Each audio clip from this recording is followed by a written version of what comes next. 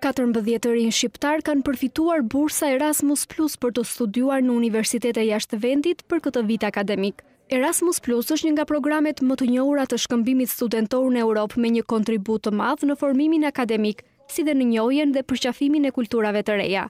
Në një ceremoni të organizuar me këtë rast, ambasadori i Bashkimit Europian Luigi Soreka i konsideroi studentët shqiptarë si ambasadorët më të mirë të vendit në Europë.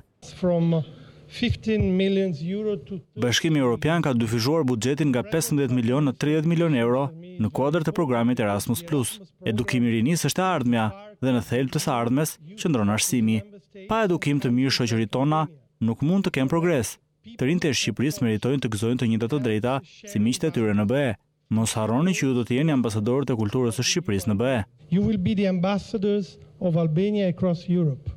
Erasmus Plus nuk ofron vetëm mundësi për studentët dhe të rinjtë, por edhe një përqindje e lartë e stafit akademik shqiptar është trajnuar gjithashtu jashtë përmes këtij programi. Numri i përfituesve të bursave Erasmus Plus është në rritje dhe përfshin të gjitha fushat e studimit.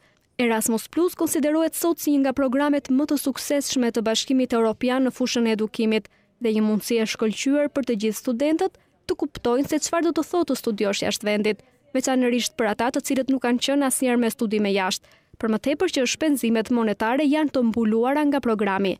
Deri më sot, tre mijë e pesëqind studentë shqiptarë kanë përfituar bursa Erasmus Plus.